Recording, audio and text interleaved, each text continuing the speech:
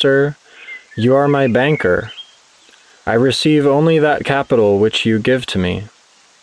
I would purchase the Lord's name with love if you yourself, in your mercy, would sell it to me. I am the merchant, the peddler of the Lord. I trade in the merchandise and capital of the Lord's name. Pause.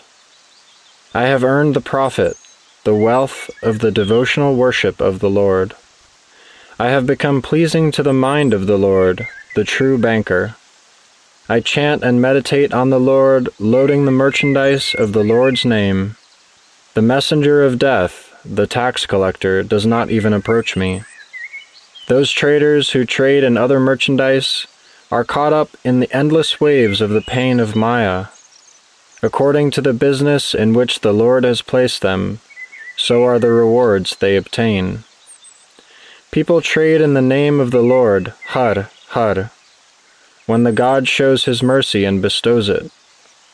Servant Nanak serves the Lord, the banker. He shall never again be called to render his account.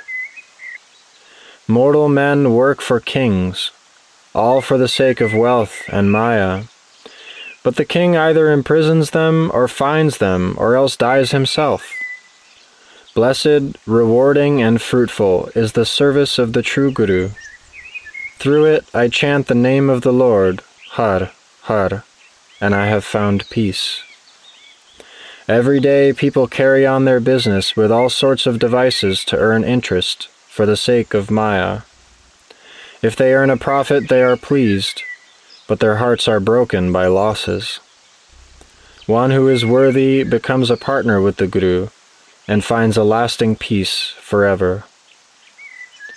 The more one feels hunger for other tastes and pleasures, the more this hunger persists.